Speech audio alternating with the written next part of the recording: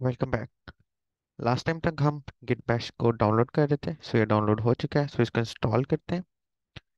Install करने के बाद हम इसका क्लोन लेंगे इंस्टॉल के सिंपल स्टेप्स हैं, कोई लंबे स्टेप्स भी नहीं है।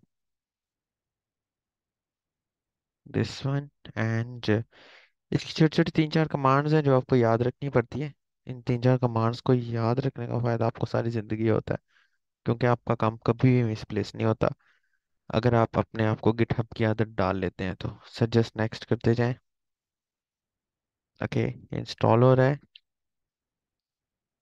ऑलमोस्ट एक आध सेकेंड लगेगा इंस्टॉल होने में, जैसे इंस्टॉल हो जाएगा तो ये आपके पूरे सिस्टम में विजिबल हो जाएगा। बेशक आप कोई भी विंडो यूज़ कर रहे हैं। सो लेट्स सी ये जब तक इंस्टॉल हो रहा है, हम वेट कर लेते हैं। ओके तो हमारा ये ऑलमोस्ट इंस्टॉल हो चुका है जस्ट दिस वन हो गया सेव उसके बाद नेक्स्ट क्या करना पड़ेगा? नेक्स्ट मैं एच टी डॉक्स में आता हूँ। यहाँ पर मुझे अपना प्रोजेक्ट क्रिएट करना है, यानी कि अपनी रिपोजिटरी को अटैच करना है। और यहाँ पर आके मैं रिफ्रेश करूँगा तो मुझे यहाँ पर दो ऑप्शंस नए शो हो रहे होंगे, यानी कि राइट क्लिक करूँगा बेसिकली रिफ्रेश नहीं बेसिकली हम almost refresh right click right click refresh करने के लिए करते हैं। तो मेरे पास यहाँ पर मुझे दो ऑप्शन शो हो रहे होंगे Git G O I here and Git Bash here okay मैं गिट बैश यूज़ करता हूँ अगर आप जी का यूज़ करना चाहो यानी कि इसके ज़रा ग्राफिक्स होंगे लाइक ये कमांड बेस यूज़ करना पड़ता है और ये जी है यानी कि आपको कमांड्स वगैरह याद नहीं करनी पड़ेंगी। सो so, इससे ज़्यादा यूज़र फ्रेंडली वैसे ये कमांड बेस्ड है क्योंकि हम लोग प्रोग्रामर्स हैं हमें कमांड बेस काम करना ज़्यादा अच्छा लगता है।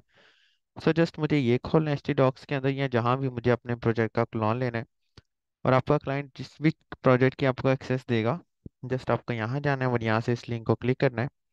क्लिक करने के बाद यहाँ पर पेस्ट कर देना है, ठीक है? ये लिंक ऐसे पेस्ट होता है बाजू यहाँ पर क्लोन भी लिखा आ जाता है। तो मैं जस्ट एक कमांड लिखता हूँ क्लोन की।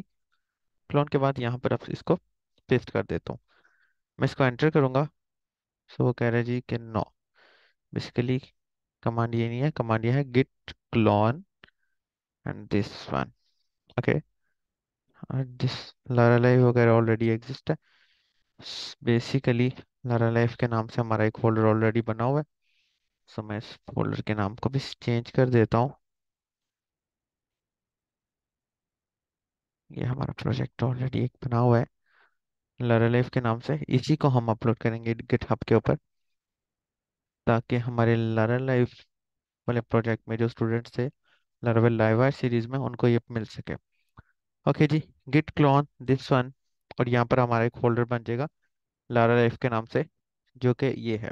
ओके ये हमने ले लिया है क्लोन सिंपली गिट बैश को इंस्टॉल किया इंस्टॉल करने के बाद यहाँ पर आया और यहाँ पर आके कोड में गया और एचडीपीएस के अंदर जाके वैसे तो मैं यहाँ से भी डाउनलोड कर सकता हूँ लेकिन गिट बैश वाला तरीका ज़्यादा आसान है क्योंकि ये फिर कनेक्ट हो जाता है।